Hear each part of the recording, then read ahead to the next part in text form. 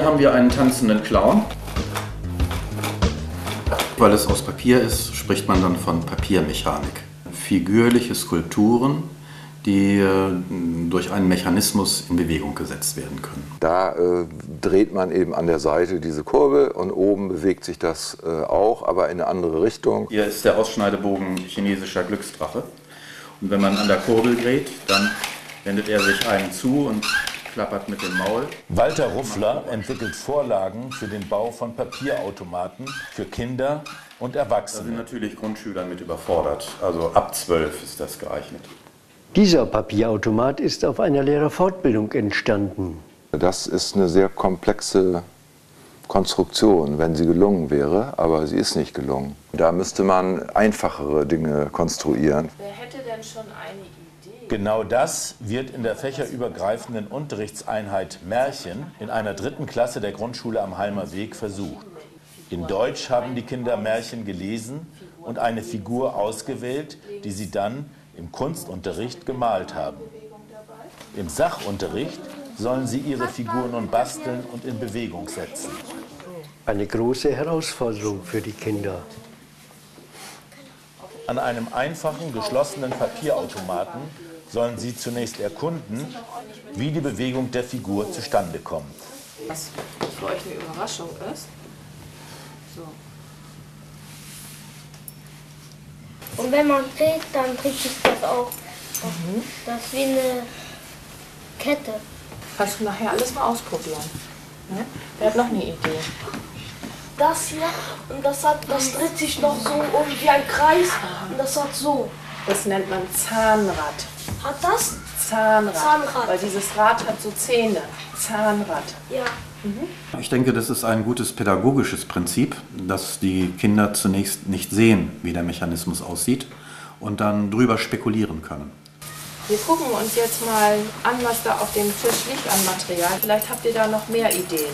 Mit Verbrauchsmaterialien wie Strohhalm, Schaschlikstäben, Schuhkartons, Gummi, Resten, Korken und solchen einfachen Sachen können wir Mechaniken gestalten, also zum Beispiel Räder, die ineinander greifen. Und ganz wichtig ist auch noch ein Strohhalm, der hier oben eingeklebt wird, hier, weil der dient der Führung des Stößels.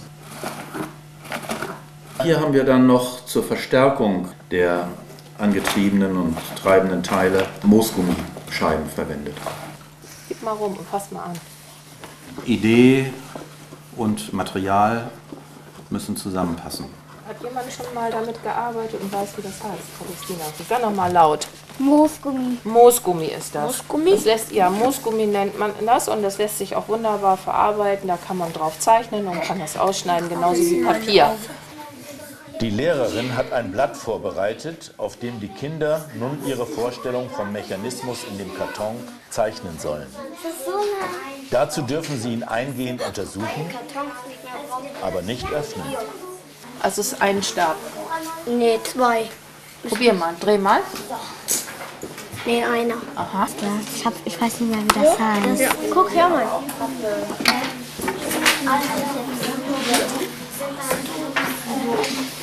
Ja, also komm, ich weiß was. Also ich glaube, da sind viele Stäbe drin und ich habe so ein lauschendes Geräusch gehört. Und was machen die Stäbe da drin? Die Stäbe müssen sich bestimmt bewegen, damit das, das Oberste sich auch bewegt. Das ist die Welle, das Rad, äh, wie heißt mal die Stange. Das dreht sich immer, dann dreht sich das Rad zu einer anderen Richtung und das dreht sich hier auch oben. Und dann dreht sich dreht das Gesicht. Äh, der Mensch dreht sich dann auch. Dieses Dings da, wo das dreht. Ah, ich kann das nicht erklären, ich weiß nicht, wie das heißt. Technik, finde ich, hat in den Lehrplänen und Bildungsplänen nicht den Stellenwert, den es verdient. Gerade also dieses Entdeckende, Forschende, Konstruierende ist etwas, was äh, heutzutage wichtig ist. Dazu gehört auch der Austausch darüber und dass man das vorstellt, was man gemacht hat. Am Ende, dass man zeigen kann, wie war mein Weg. Ob das denn so funktioniert. Wer hat noch eine schöne Idee? Und warum hast du die jetzt hier eingesetzt? Da hast du dir doch was überlegt. Wenn ich vielleicht die, die hier lege, dann wird es leichter die, zu die, leichter die zu drehen und damit es, die Stocke nicht rausgehen. Ah, gute Idee. Der einfachste Mechanismus ist sicherlich ein sogenannter Reibradantrieb. Das sieht so aus. Auf der Kurbelwelle sitzt senkrecht stehend ein Antriebsrad. Auf diesem Antriebsrad ruht waagerecht liegend das sogenannte Abtriebs- oder getriebene Rad. Und damit ist eine Welle verbunden und man sieht, wie sich die Drehbewegung überträgt. Einfache Mechanik, die auch leicht verstanden werden kann vom Kind und die man dann auch verändern kann. Hier haben wir den Exzenter, das ist im Grunde ein kreisrunder Nocken, aber die Welle läuft nicht durch die Mitte, sondern versetzt und dadurch äh, entsteht so eine eirige Bewegung. Hier haben wir einen Nocken, der sich aus einem Dreieck entwickelt hat und wenn der sich einmal dreht, bewegt sich der Stößel dreimal rauf und runter. Wenn die Kinder das Prinzip erstmal verstanden haben, dann sind sie sicherlich auch in der Lage, selber eine Nockenform zu entwickeln, die sie für ihr Modell äh, benötigen. Christian, zeig mal, wie hast du das gemacht? Inzwischen haben die Kinder mit dem Bau ihrer Papierautomaten begonnen. Natürlich mit Reibradantrieb. Warte, soll ich euch helfen? Aus Moosgummi werden runde Scheiben ausgeschnitten, die als Räder dienen. Ja, manchmal funktioniert das nicht richtig, weil dann sind, man muss auch richtig ähm, die Kreise richtig ausschneiden. Cianina und drei Mitschüler aus Klasse 4 haben bereits Papierautomaten gebaut. Sie sind in dieser Stunde als Berater dabei. Da, das ist knifflig, weil man braucht mehrere Versuche, man muss das wissen. Manchmal äh, haben die sich ein bisschen nicht gedreht. Manchmal hat es geklemmt. Dann hatten wir Pause und dann hatte ich einmal gewusst, dass es so geht. Und dann habe ich es ähm, versucht und dann hat es geklappt. Wenn ihr mit eurem Material jetzt immer von einer Stelle zur anderen lauft, dann ist es zu unruhig. Nein, nein.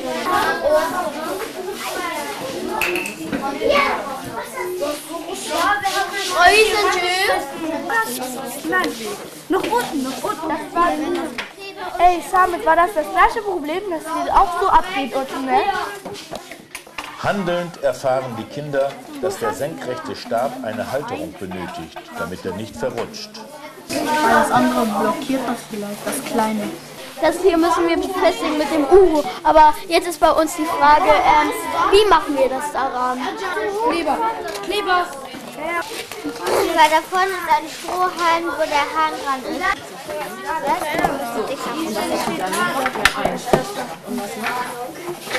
Ich weiß, wie das nicht Was hat sie mit dem Lineal gemacht?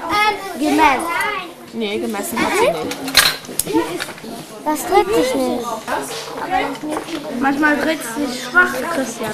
Insgesamt bin ich begeistert, wie viele Kinder das doch geschafft haben, selber darüber nachzudenken, was passiert da eigentlich und auch motiviert waren, es auszuprobieren über so einen relativ langen Zeitraum. Wenn ein Stoff da ist, der interessant ist, so wie diese Automaten oder diese technischen Sachen, dann sind die motiviert, die Kinder. Und dann geht Sprache eigentlich wie von selbst. Und auch vielleicht das Aufschreiben und Notieren.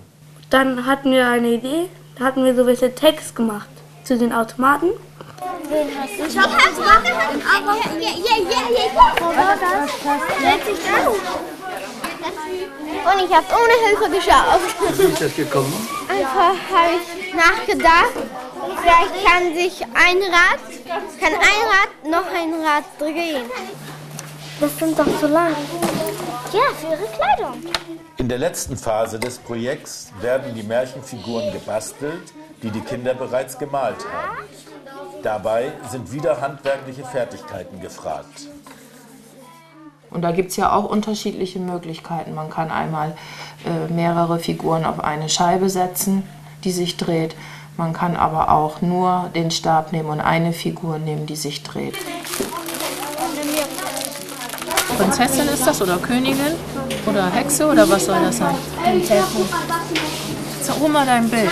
Aber dann halt so herum, weißt du, damit das hier zu passt. Und dann habe ich den hier hat es auch Vielleicht kannst du dir überlegen, dass du das Stroh hier noch irgendwo machst und die Maus vielleicht auch noch dazu.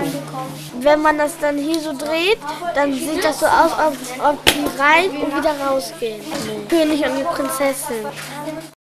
Am Ende der Unterrichtseinheit präsentieren die Kinder voller Stolz ihre Papierautomaten. Das Projekt hat ihnen Freude bereitet und gerade auch im technischen Bereich viele Erkenntnisse beschert.